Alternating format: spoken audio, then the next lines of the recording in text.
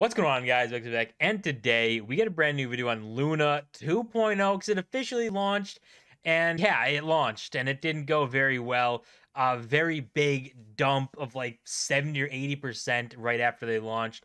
Pretty much to be expected. You gave away free tokens to a group of people that lost a lot of money. Some lost their entire life savings. So you give free money to some the people who lost everything. They're probably just going to try and recoup some of those losses as well as there's nothing really going on for Luna or Terra Luna as they abandoned the stablecoin model because that's what broke them. So now it's just kind of a coin that really doesn't do anything. And you can see here, this is the price chart of the new Luna 2.0. Uh, it's just, I mean, this is just a picture of health, isn't it? Just the massive dump. And I don't even think the full supply of their airdrop is out. I think it's only like 30% is even on the market right now. So, uh, massive dump, already going trending to being worthless. We can look at Terra, what is now Terra Classic. You can see them. I mean, these two charts, it's very similar, very similar looking charts here. Uh, you know, just massive dumps down into becoming worthless. And I mean, this looks the same. It launches at like 17 or $18 almost, gets up to 20 bucks about and then drastic collapse and seems to like be fluttering to nothingness here kind of just like this we saw the huge collapse going to nothingness but if we look here on this uh, right side we can kind of see that people are not really uh, loving of the new Luna 2.0 here. You can see don't buy Luna 2, only buy Luna Classic. Uh, Luna is a scam. This guy calling both of them a scam. He'd be right. Uh, and then Red Alert, it's a scam, talking about the new Luna. Everyone seems to be against the new Luna, this thing. And it is completely valid that they are against it and don't really like it, as it doesn't make people who got, you know, absolutely devastated from before, it doesn't make them whole or do anything for them. It really just creates a whole new thing. And Terra structured it in a way where they could benefit from this whole thing here and try and revive Terra, but also making sure they get their fair share of the pie. You can see just moments after launching, uh, had Justin Luna 2.0 is down 80% after launching hours ago. So within a couple hours of their launch, down 80%, almost down worthless, just like the original Terra. So nothing really changing there. And as well, you got these memes. If you liked losing all of your money with Luna 1.0, you're going to love losing all of your money with Luna 2.0. And don't you even worry, because Luna 3.0, that's going to make you lose all your money for a third time. So that's what we're all waiting on Luna 3.0 because this chart doesn't sell confidence in Luna 2.0 succeeding. But if we look at some of these ways that this stuff was structured and how this airdrop worked, we can have right here talking about still not all the airdrop tokens are claimable at launch. Only 30% of the initial supply can be immediately claimed. The remaining 70% of the airdrop amount has been staked directly with validators to ensure network security, and those will vest in as long as two years. So not only is the whole kind of airdrop not going out, 70% is being locked up and staked and saying for network security, but it's probably just so it doesn't go absolutely to nothing immediately and they can have some sort of semblance of the supply that's in strong hands because it's forced to be. But with only 30% out, it dumped 70 to 80% on launch with only 30% of the supply. And the rest of this supply just locked up with validators for as long as two years.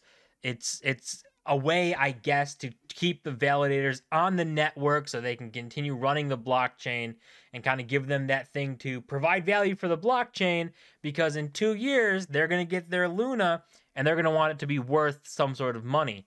Uh, at this rate, doesn't look like that's going to be the case, but an even more interesting kind of thing breaking down the 700 million. So it's a billion tokens which obviously 30% would be 300 million, 70%, 700 million. So the 700 million Luna tokens divided among top two investor categories, Terra's community pool and on-chain treasury fund is set to receive 30%, so 300 million of Luna on Terra 2.0. The community pool is controlled by Terra governance to fund development activities. So, Terra making sure they can get their part of the pie. If this thing does blow up, they want to secure that they have a lot of money and that they can actually benefit from making this Terra 2.0. Um, I guess the governance token may be out there somewhere, or maybe Luna is that. But if they give themselves 30%, they've given themselves pretty good control over the network. Um, and then you can see also of the total pool amount, 30 million are assigned for developers who have decided to remain and rebuild on the new Terra chain, according to earlier announcement. So they are desperately trying to bring over their the developers that were on Terra before or building out things before, and they bribed them with 30 million new tokens to kind of give them for free, which is just gonna add more selling pressure because either they're gonna sell them to try and just claim the money, or they're gonna sell them to use the money to build whatever they're developing. So more selling pressure put on the, the whole thing. And we know what selling pressure does to to tokens, really brings them down. But not only that, the community pool, but it's controlled by Terra governance. So it's a community pool, but really it's Terra's pool of money that they can use to try and advertise more or push forward Terra, Luna, or try and get more eyes on it or do whatever they're going to do. Uh, but another big thing about them as well was we know this is the new Terra, this whole new logo, Luna 2.0. And instead of naming this Luna 2.0 or Terra Luna 2.0 or something so people would know what they're looking at. They named it Terra Luna and then renamed the old one Terra Classic.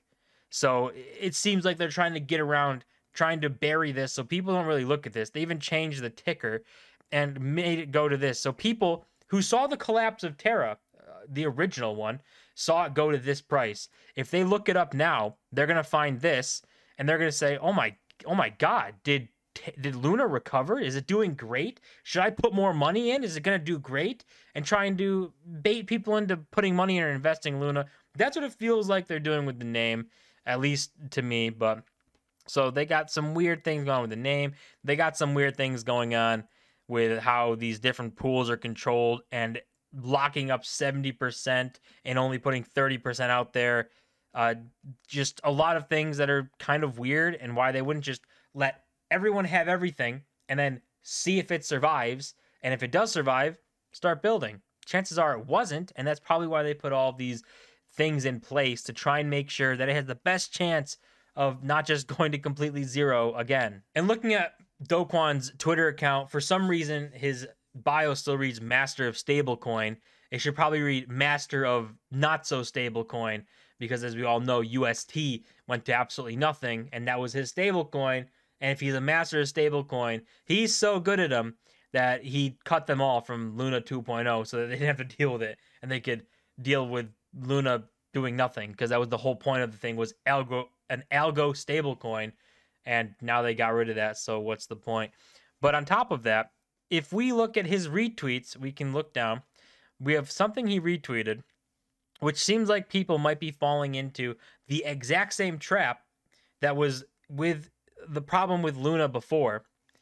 And that is this right here with Luna trading online USDT, which is Tether, or USDC, which is like Coinbase's stablecoin.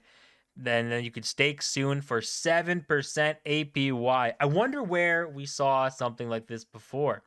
So, what caused the downfall of Luna was their 20% Anchor Protocol APY, the best in the business. People thought it was super safe. So, but if people look at this, and this one might take longer to collapse because it's only 7%. Maybe they can try and fund it for as much as possible.